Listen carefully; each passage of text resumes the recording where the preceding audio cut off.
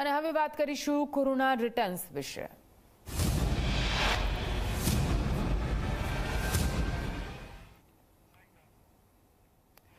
દુનિયામાં ફરી એકવાર કોરોનાના કેસમાં ધરખમ વધારો થઈ રહ્યો છે. ચોવીસ કલાકમાં ચાર લાખ બાણું હજાર નવા કેસ નોંધાઈ ચૂક્યા છે.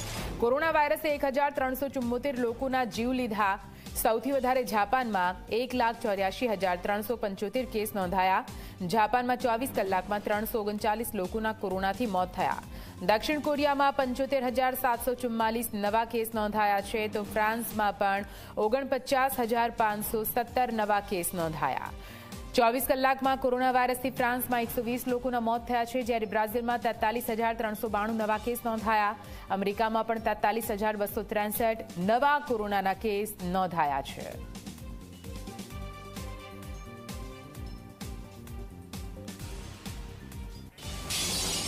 આ તરફ કેન્દ્રીય સ્વાસ્થ્ય મંત્રીની કોરોના મુદ્દે સમીક્ષા બેઠક. રાજ્યોના સ્વાસ્થ્ય મંત્રીઓ સાથે સમીક્ષા બેઠક કરશે. કેટલાક દેશોમાં કોરોનાના વધતા કેસને લઈને હવે દેશનું સ્વાસ્થ્ય મંત્રાલય એક્શન મોડમાં આવી ગયું છે. કોરોનાના વધતા કેસ વચ્ચે સ્વાસ્થ્ય મંત્રી આ બેઠક કરશે.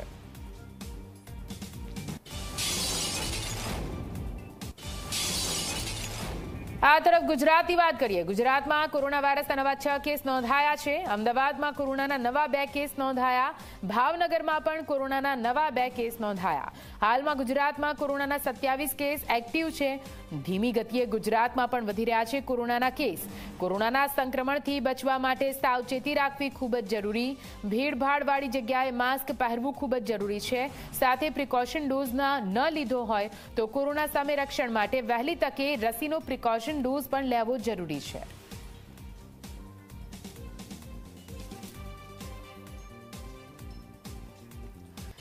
કોરોનાના કેસમાં વધારો થતા આરોગ્ય વિભાગ એક્શનમાં આવી ગયું છે. ગાંધીનગરમાં આરોગ્ય વિભાગની બેઠક મળશે.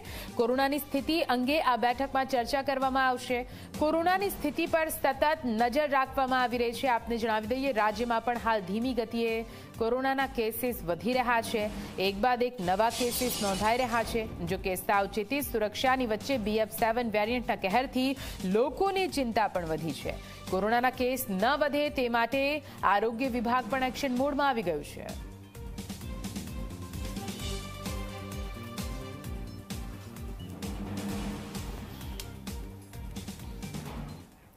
ગાંધીનગરથી આરોગ્ય ટીમ આજે વડોદરા ખાતે પહોંચશે.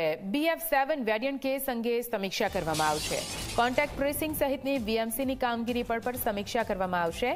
વીએમસી કમિશનર બંછાનિધિ પાની સાથે બેઠક કરશે.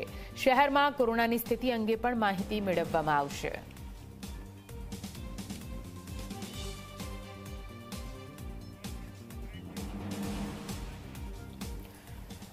રાજકોટથી મહત્વપૂર્ણ સમાચાર સામે આવી રહ્યા છે, જ્યાં રાજકોટમાં પોલીસ કમિશનરની કચેરીમાં માસ્કને ફરજિયાત કરવામાં આવ્યું છે. પોલીસ કમિશનર ઓફિસમાં તમામ સ્ટાફને માસ્ક પહેરવા ફરજિયાત કરવામાં આવ્યા. તમામ લોકોને પણ માસ્ક પહેરીને આવવાની સૂચના આપવામાં આવી છે. આપને જણાવી દઈએ, જે રીતે વિદેશમાં કોરોનાનો કહેર ફરી એકવાર વર્તાઈ રહ્યો છે, આ તરફ દેશમાં પણ કોરોનાને લઈને સ્વાસ્થ્ય મંત્રાલય એક્શન મોડમાં એક બાદ એક બેઠકો કરવામાં આવી રહી છે. ત્યારે રાજ્યમાં પણ હવે કડક નિયમો કરવામાં આવી રહ્યા હોય તેવું સ્પષ્ટપણે લાગી રહ્યું છે. જ્યાં રાજકોટમાં પોલીસ કમિશનરની ઓફિસમાં તમામ સ્ટાફ તેમજ ત્યાં આવતા લોકોને પણ માસ્ક પહેરવું ફરજિયાત કરવામાં આવ્યું છે.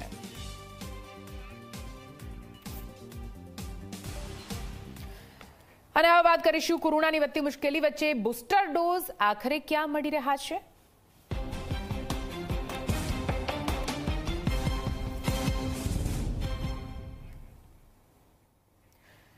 વિદેશમાં કોરોનાના નવા વેરિયન્ટ બીએફ સેવને હાહાકાર મચાવ્યો છે. રાજ્યમાં પણ ધીમી ગતિએ કોરોનાના કેસીસ વધી રહ્યા છે, જેથી લોકોની ફરી એક વખત ચિંતા પણ વધી ગઈ છે. તો કોરોના રિટર્ન થતા ફરી એકવાર રાજ્ય સરકાર પણ એક્શનમાં આવી અને ટેસ્ટિંગ, ટ્રેકિંગ, રસીકરણ પર ભાર આપવાની સૂચના આપવામાં આવી. પરંતુ ભાવનગરમાં શું સ્થિતિ છે? ભાવનગરમાં તો રસીના પૂરતા ડોઝ જ નથી. તો પછી રસીકરણ પર કેવી રીતે ભાર આપવો? હાલની સ્થિતિ મુજબ ભાવનગરમાં રસીના માત્ર બસો ડોઝ છે, જેની એક્સપાયરી ડેટ આવતીકાલની છે. હાલ સ્થિતિ એવી ઊભી થઈ છે કે ભાવનગરમાં ચૌદ હેલ્થ સેન્ટર છે, પરંતુ આ ચૌદ હેલ્થ સેન્ટર વચ્ચે માત્ર રસીના બસો ડોઝ જ ઉપલબ્ધ છે. જેથી રસીકરણ અભિયાન પર ભાર કેવી રીતે આપવો તેના પર સવાલ ઉઠી રહ્યા છે. એમાં પણ ખાસ કરીને બાળકને આપવામાં આવતી રસીનો તો એક પણ ડોઝ ઉપલબ્ધ નથી. કોરોનાના વધતા સંક્રમણ વચ્ચે સરકાર રસીકરણ પર ભાર આપવાની સલાહ તો આપી રહી છે, પરંતુ રસીના પૂરતા ડોઝ જ ન હોય તો તંત્ર કેવી રીતે ભાર આપશે?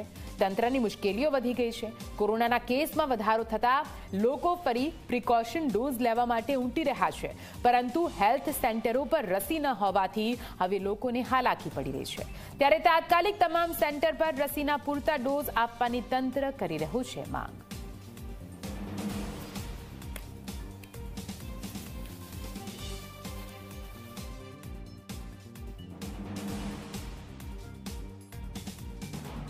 સ્ટીલ વેક્સિન અત્યારે અવેલેબલ કેટલી?